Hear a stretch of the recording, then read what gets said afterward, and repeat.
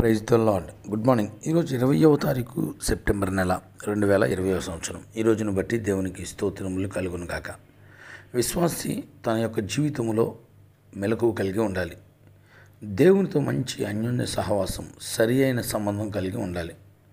ఓడిపోయిన జీవితం కాక ఓడిపోయిన పరిస్థితుల్లో కాక విజయకరమైన మహిమకరమైన జీవితం జీవించగలగాలి. ఆత్మానుసారంగా నడుచుకోవాలి అదేవిధంగా కృప వెంబడి కృప పొందుకోవాలి. అలా జరగాలంటే ఏం చేయాలి?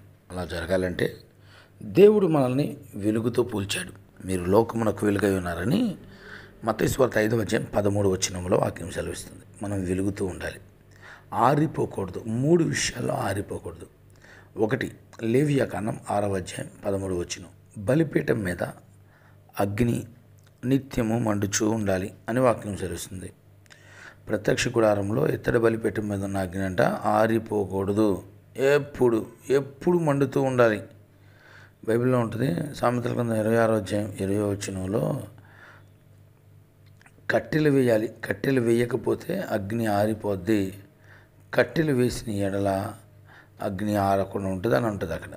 కట్టెలు వేయకపోతే అగ్ని ఆరిపోద్ది. గమనించండి. ప్రతిరోజు కూడా ప్రతి దినము కూడా ప్రధాన యాజకుడు.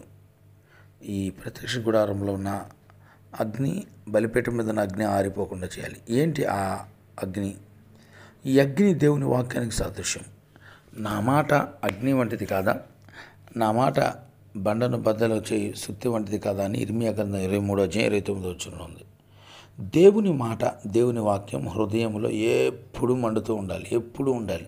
అది నేను ధ్యానించుచుండగా నా హృదయంలో మంట పుట్టిన కీర్తనల గ్రంథం ముప్పై తొమ్మిది అధ్యాయం మూడో వచ్చినలో ఉంటుంది. అవును ఈరోజు నేను మీకు తెలియజేస్తున్నాను. యేసుక్రీస్తు నామలో దేవుని యొక్క మాట. విశ్వాసి హృదయంలో దేవుని యొక్క వాక్యం ఆరిపోకూడదు. ఎప్పుడు ఆ వాక్యం హృదయంలో ఉంటే నోటి నుండి స్థుతి ఆగిపోదు. నోట్లోంచి వచ్చే ప్రార్థన ఆగిపోదు. కృతజ్ఞత చెల్లించటం ఆగిపోదు. కనుక నీవిచ్చిన వాక్యము నేను ధ్యానించుటకై నా కన్నులు రాత్రి జాములు కాకముందే తెరుచుకుంది నేను నూట పంతొమ్మిది దగ్గర నూట నలభై ఎనిమిది వచ్చిన లాగా ఆరిపోవద్దండి. ఆదివారం ఒక్కరోజే వెలిగి మిగతా రోజులు ఆరిపోకూడదు. ప్రతిదినం ప్రతిదినం దేవుని యొక్క వాక్యాన్ని హృదయంలో ఉంచుకోవాలి. రెండవది మీ దీపాలు వెలుగుచున్న నీడి అని అంటాడు. లోకస్వార్త పన్నెండు అధ్యాయం ముప్పై ఐదో వచ్చిన మీ దీపంలో అండి ఆరిపోకూడదు. మీ దీపాలు ఆరిపోకూడదు. గమనించండి. చాలామంది ఇళ్ళలో దీపాలు ఉంటాయి కదా ఇదివరకు. ఆ దీపాల గురించి దేవుడు మాట్లాడుతున్నాడు. ఏంటి దీపాలు? ఏంటంటే మీరు వాక్యం చూసినట్లయితే సామెతలు కదా ముప్పై ఒకటో వచ్చిన ముప్పై ఒకటో అధ్యాయంలో గుణవతి అయిన భార్య గురించి మాట్లాడుతూ ఉంటారు. గుణవతి అయిన భార్య గురించి మాట్లాడుతూ ఆమె దీపము రాత్రి వేళ ఆమె దీపం ఆరిపోదట. అవును తన తండ్రి ఆయనను తల్లిని దూషించు అనే దీపము కారు చీకట్లు ఆరిపోద్ది. అంటే దాని అర్థం ఎందుకు ఆమె దీపం ఆరిపోదంటే ఆమె సత్క్రియలు చేస్తుంది. సత్క్రియలు చేసే వారి దీపము ఆరిపోదు. రెండవది సత్క్రియలు చేస్తూ మనం ముందుకు ఉండాలి. మరి మనం దుష్టక్రియలు చేయకూడదండి పాపపు క్రియలు చేయకూడదు. ఈ రోజు నుంచి మనము సత్క్రియలు చేయదుము గాక. సత్క్రియలతో మనము అనేక మందిని దేవుని యొక్క సన్నిధికి నడిపించుదుము గాక. ఇక మూడవది దశలోనికి రాసిన రెండో పత్రిక ఐదో జం పంతొమ్మిదో వచ్చినలో ఆత్మను ఆర్పకుడి అని ఉంది. పరిశుద్ధాత్మ శక్తిని పరిశుద్ధాత్మ బలాన్ని మనం ఆర్పకూడదు. శ్రమలు వచ్చినా కష్టాలు వచ్చినా బాధలు వచ్చినా పాపాన్ని విడిచిపెట్టకూడదు. పరిశుద్ధమైన జీవితం మనం జీవించాలి. లోకములో మీకు శ్రమ కలుగును. అయినను ధైర్యం తెచ్చుకోండి నేను లోకాన్ని జయించానని ప్రభు చెప్పలేదా? మీ శ్రమల్లో ఎంత బాధపడుతున్నారు కదా? ధైర్యంగా దేవుని ఆత్మను కోరుకోండి. ఆత్మ శక్తిని అడగండి. ఆరిపోవద్దు.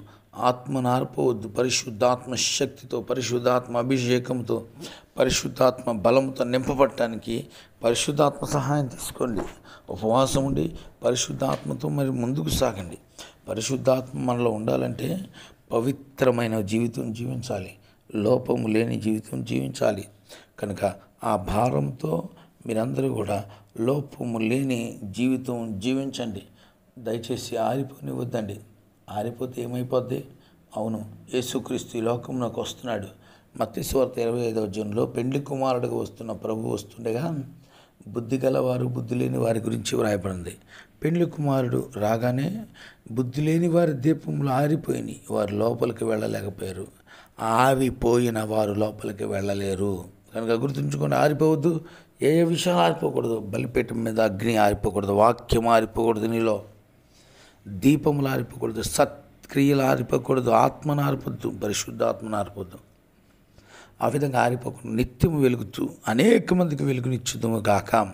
ఆమెను. ప్రార్థన చేసుకుందామా మహాపరిశుద్ధుడు వగ్గు ప్రేమ కలిగిన ప్రిపరలకు తండ్రి గొప్పదేవ ఈరోజు ప్రభా నీ మాటలు మేము నిండుగా వాక్యానుసారంగా జీవించే కృప ఆరిపోకుండా ఉండకు సహాయం చేయండి.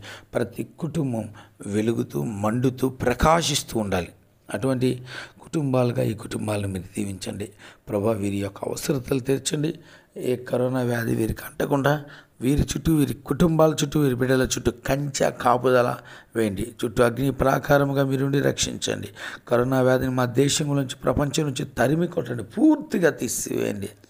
పూర్తిగా తీసివేసి అందరికీ రక్షణ మార్మస్ దయచేయండి. ఆర్థిక అవసరాలు తెరచమని యేసుక్రీస్తు నామలో ప్రార్థిస్తున్నాను తండ్రి. ఆమెన్. ప్రతిదేవుని బిడ్డలారా ఈరోజు పన్నెండు గంటల నుంచి జూమ్ కాన్ఫరెన్స్లో మరి వాక్యం ఉంది. ప్రార్థన చేయని పేరు ఉంటుంది. మీరు కూడా పార్టిసిపేట్ చేయండి. నాకు స్టేటస్లో దానికి సంబంధించిన పాస్వర్డ్ అదేవిధంగా ఐడి ఉంది. చూసండి చూసి మీరందరూ కూడా జాయిన్ అవ్వండి. God bless you all.